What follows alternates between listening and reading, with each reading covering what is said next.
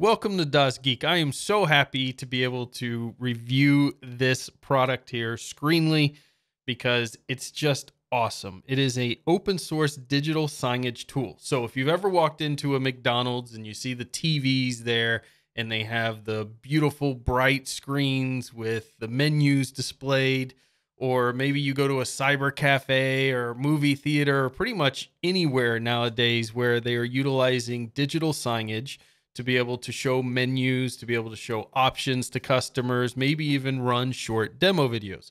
Screenly is running in the background ever since I've had this on in Destination Linux to troll some of the co hosts uh, with things like, by the way, I run Arch or maybe show their logos for their particular products and things. People have been asking me what tool I'm utilizing. And so what I did is I took a Raspberry Pi and it is mounted with Velcro behind that television and I use Screenly open source, which allows you, if you follow the steps here, you basically take their custom image, you burn it onto a SD card, you put it in your Raspberry Pi, and it will go through the install process. It is super, super simple to go and do.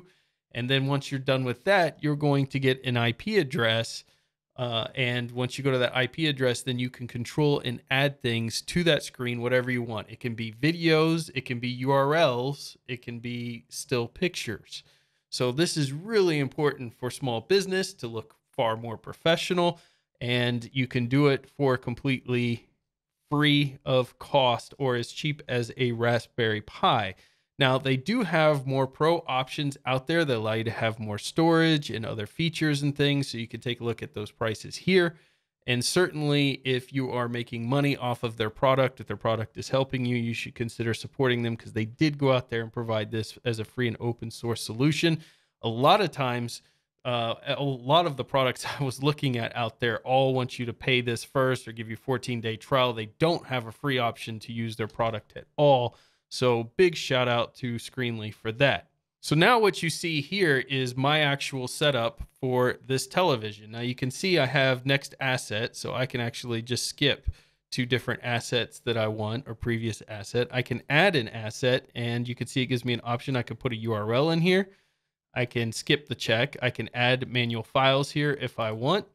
And you can see I have the wallpaper DL, the I use Arch, the Tux Digital logo, the Zebedee, and then this is the video that I uploaded for the video that it will play towards the end. And then here are inactive assets. You can see all these are set to on. And in the inactive assets are just the two that come with it. You get a weather and a clock widget here. Now, if I go into one of the assets, I can actually edit it and I can tell it to play forever and the duration that I want it to play for. If I want some to be longer than others, this one only plays for 10 seconds that I use Arch. I can change that to 15 seconds and I can have this one play forever as well. But this is a great way to expire out different themes. So maybe you have a special that's running within your small business, uh, but you only it, want it to run for the next week. You can set the start and end time there for the next week so that you don't have to worry about updating it or remembering to update it. You can set that expiration right there. And of course, if you need to turn anything off, you can just go to the URL uh, that, in, and as soon as you turn the device on, it'll tell you the web URL that you need once you have it installed to go to. You type that in, and boom, you're going to be all set up and ready to go. So that's just a quick look at this tool. I think it's absolutely amazing. It never breaks. It's always always running in the background. It's running off of something as low powered as a Raspberry Pi. I could see this being so helpful for a small business to create digital signage and especially if you're just starting out, you don't have the funds to pay for a service, you can start with this and then upgrade to their pro and get some more features out of that. But you can see there's just a ton of different things in here for you to go in there and play with and experiment with.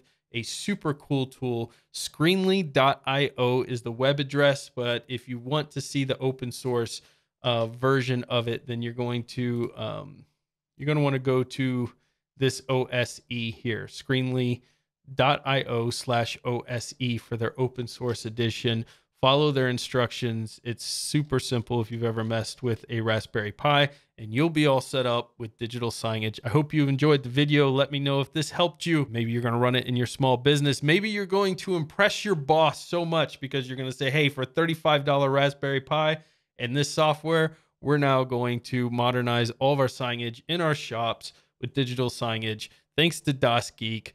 Until next time, get out there and fill your brain. Don't get too smart. Does not like the video.